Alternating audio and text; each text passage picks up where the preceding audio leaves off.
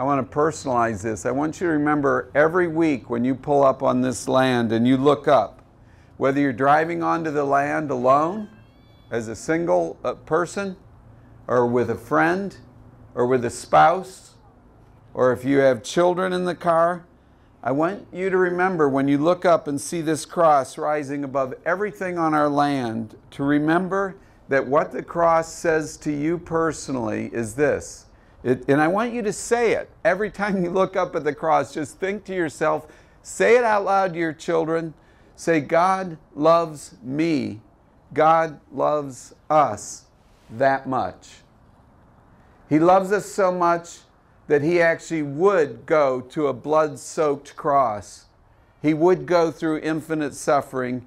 He would die in our place. And He would do that, whatever condition that our soul, our circumstances are in.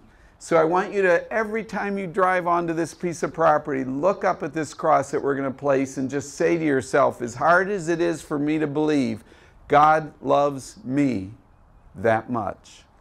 Okay?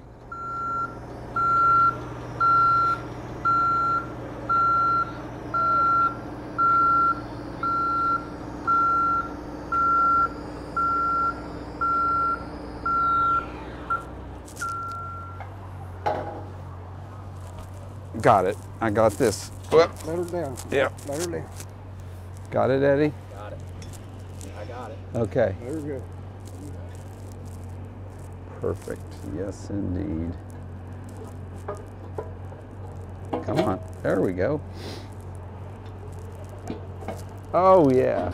Now let me, I'll switch your spot. Okay. Let's, um, we so that we don't keep these gentlemen any longer, this is a moment. The cross is in place. This cross declares for all that ever drive down that road or drive by that highway that this is a Christian church and that what we believe is that our hope is not in ourselves but in the life and death of another who lived and died for us. So let's pray now together as we put this cross in place. Why don't you extend your right hand up as, as I lay mine and these gentlemen lay theirs on the cross? Dear Father, we are grateful for the beauty of this symbol. We're grateful for its witness against the sky and the hill behind it. We're grateful that it is the thing that is preeminent above everything else in this facility to speak of a reality that is not about a symbol, but about a person.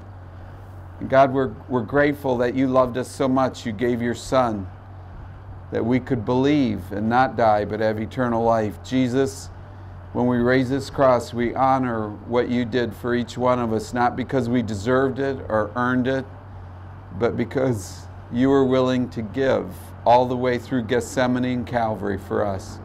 So, Lord, please honor this day and this symbol and help this church to honor you in all that we do and say. We pray in your name, in the name of Jesus Christ. Amen. Amen. Thank you. Amen. Wow, thank you, gentlemen, so much.